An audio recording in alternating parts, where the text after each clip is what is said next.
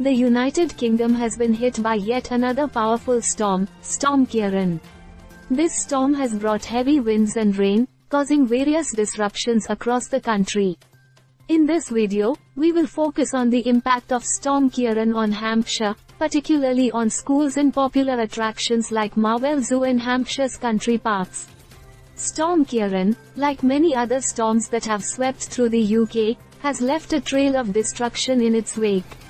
The storm is characterized by high winds and heavy rainfall, and it's no surprise that such extreme weather conditions have prompted various safety measures and closures.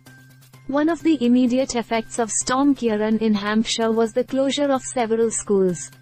With the safety of students and staff in mind, local authorities and educational institutions made the decision to close schools to prevent any potential risks associated with the storm.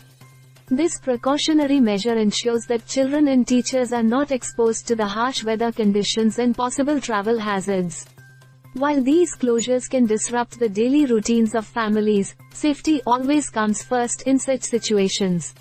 Marwell Zoo, a popular attraction in Hampshire, is another establishment affected by the storm. As high winds and heavy rain approached the region, the zoo made the responsible decision to close its doors to the public temporarily. This closure ensures the safety of both the animals and the visitors. Marwell Zoo is home to a wide variety of animals, and the welfare of these creatures is a top priority. The closure allows the staff to take necessary precautions to protect the animals from the adverse effects of the storm. Hampshire's country parks are known for their natural beauty and outdoor recreational opportunities. However, due to the threat posed by Storm Ciarán, these parks were closed as well. The decision to close the parks was made in consideration of public safety, as the extreme weather conditions could create hazards for visitors.